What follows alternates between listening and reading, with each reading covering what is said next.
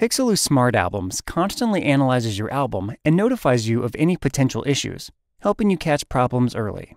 As you choose layouts for your spreads, you will sometimes see a warning symbol appear in the corner of some images. This is the resolution warning, which notifies you that the image does not have enough pixels and is being upscaled to fill the frame. Or in other words, the image is too small and is being stretched in order to fit into the design, which will reduce the quality of the print. When you hover over the warning, you'll be shown exactly how much the image is being stretched, or upscaled. For example, this image is being upscaled a little over 200%. This means that it is being stretched about double its size. As images are stretched beyond their original resolution, print quality suffers. A little upscaling is okay, but too much will result in noticeable issues with the print quality. The question is, how much upscaling is too much? Well, it depends on your personal preference.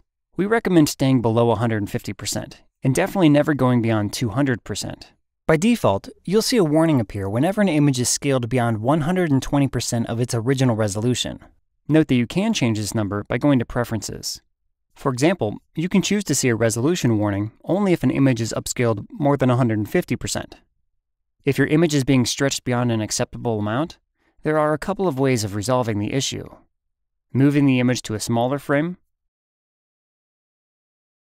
or simply choosing a different layout with smaller frames is the easiest solution. However, if you are seeing a warning on most or all of your images, you're most likely importing low resolution images into Smart Albums and will need to replace them with full resolution copies.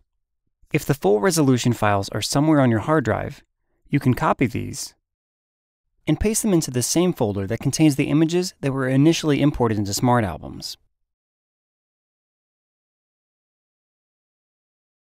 The files will auto-update and the resolution warnings will disappear.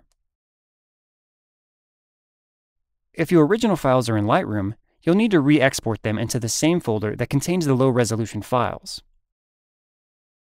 To export at the highest resolution, set your quality to 100 and make sure that image resizing is not checked. Finally, press Export and choose to overwrite the existing files.